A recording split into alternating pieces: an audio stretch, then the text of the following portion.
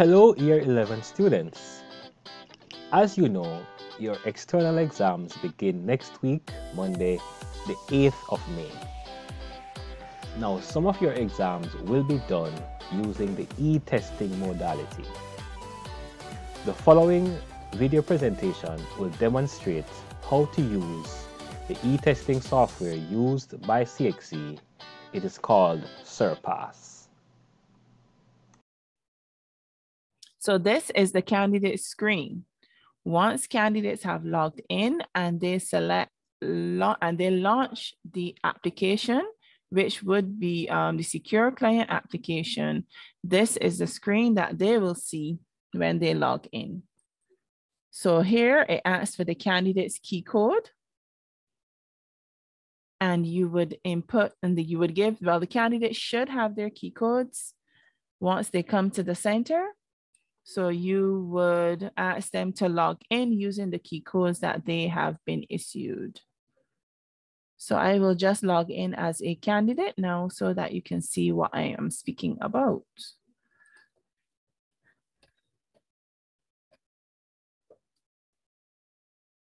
Now I am not typing in caps. The system is set to default um, with the caps lock option. And I say, okay. Now, if I come, to, um, this is what candidates see.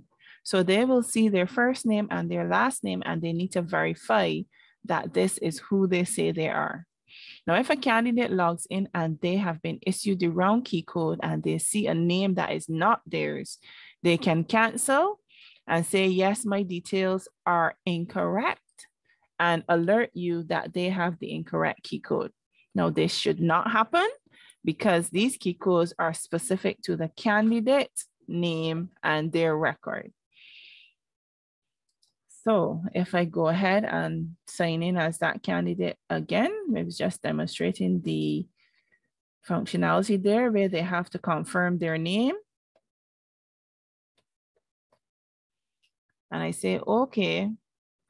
Now, if someone else was trying to log in with my key code, it would say invalid key code, this test is in use.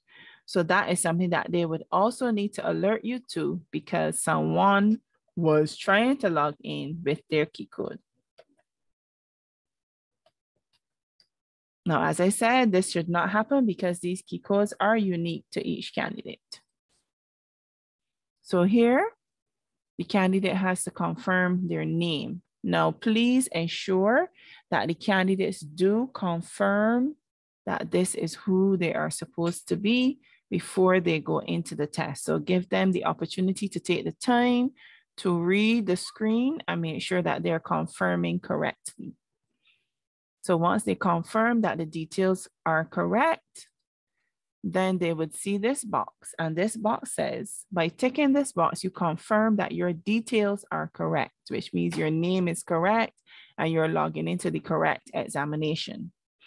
And you accept the awarding organization's code of conduct. Now we know that the candidates' timetables have rules and regulations on the back of them. And we also post those red and white posters around the centers this is what this is speaking to. So the candidates are confirming that they will adhere to any rules and regulations associated with the examinations.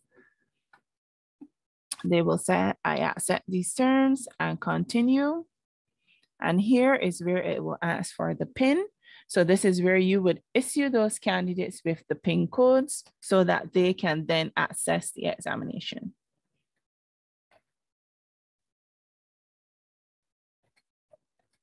And say enter. And the screen will populate so that the candidates can see the instructions. Now in the system, there is a counter which gives the candidates the countdown of their time. Now you notice that once they're in the on the introductory page, the counter has not yet started because it gives them time to read the instructions. They will see that it's the introductory page. They will also see their name at the top of the screen. And on the bottom of the screen where they have this settings view, it gives them the functionality to change this, this display screen. So here, if they select preferences, you can select light blue. And if you say, okay, it can change the view of the screen for those candidates. We know that some candidates might have sensitivity to light or certain colors. So if they want to, they can change the background and um, have an easier time in the test. Or they can go back to default. I prefer the default, so I'll go back there and say, okay. So from here, I would select start the test. And now you can see that the countdown has started for the candidate. On your screen, you will see that this candidate is in progress. So this is what you will see once the candidates have started. So once you have all of your candidates with this green play button, you will know that all is well. So the candidate is in the test. As they are going through, they would read the respective question, select the respective response and go next. Now, if you notice, as I move from question to question, you will see a pointed arrow. This identifies the question that I am currently working on. Which other? And they select and they go next. Now, if the candidate reads a question and they are unsure of the response, they can flag that question and go next and they can flag as many questions as they want. If I go down to question 20, you will see that the screen pushes up the questions. So if I flag that and I go next, it will continue to push the questions up and go from question to question.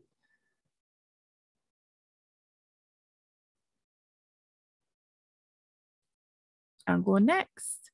Now the candidates as you as I indicated, the questions would have disappeared from here, but the candidate can either go back and those questions would scroll down and down, or if I select question four, it will go and go back. It will show me the question before, or the candidates have the option to use this section review where they can select this option and they can show any questions that they have flagged, they can filter and then they can select that question and it will take them directly back there. Or if they can see the flag option, they will just select that question and respond to it before they finish the test. Now they can go back using the back button. If they're using a laptop, they can use the arrow keys or they can go back and next in here as much as they need to until they have responded to all of the questions that they can respond to. Before the candidate submits, they have the option to select finish test twice. Now, if they select finish test, it will say to them, you have not attempted all of the questions and some have been flagged. Are you sure you would like to finish? They can press cancel and go back and finish any of the eh, questions that they have not responded to. So they can continue and in the exam as long as there is time still remaining on the clock. They go next and they continue. So once they're sure that they have finished, they select finish and they have to select finish again. So it then gives them notification that if they select finish, the answers will be submitted and you will not be able to return to the test.